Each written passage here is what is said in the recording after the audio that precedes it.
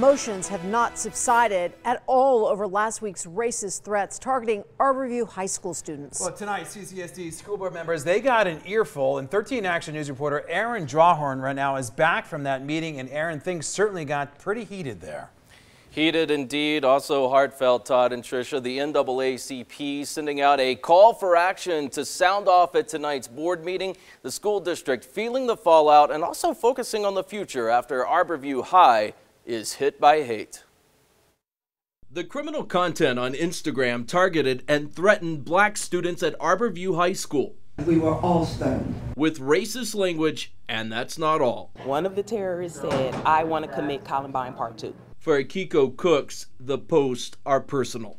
One of, my son was one of 10 boys targeted, yes. I noticed you used the term terrorist. They are terrorists. Those were terrorist threats. Two Arbor View teens were arrested, charged with making terroristic threats and cyberbullying with hate crime enhancements. A third cited. The superintendent praised local police and the feds' rapid response. As a superintendent and as a father, I will not allow any of our students to be threatened. Because I do not support any of that behavior. It is the most heinous thing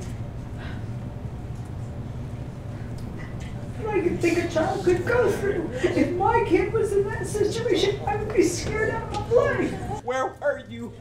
I haven't heard from anyone. No one has contacted us. Cooks has a slew of questions, beginning with who knew what and when. Why were children in school on Tuesday morning? They knew about it Monday night. For now, CCSD's conversation looks at safety. To add metal detectors to the schools. Training. I think they need to have training with every parent that's in every school. And the problem of prejudice in 2019. This feels like 1950, 1960. Aaron Drawhorn, 13, Action News, elevating Las Vegas.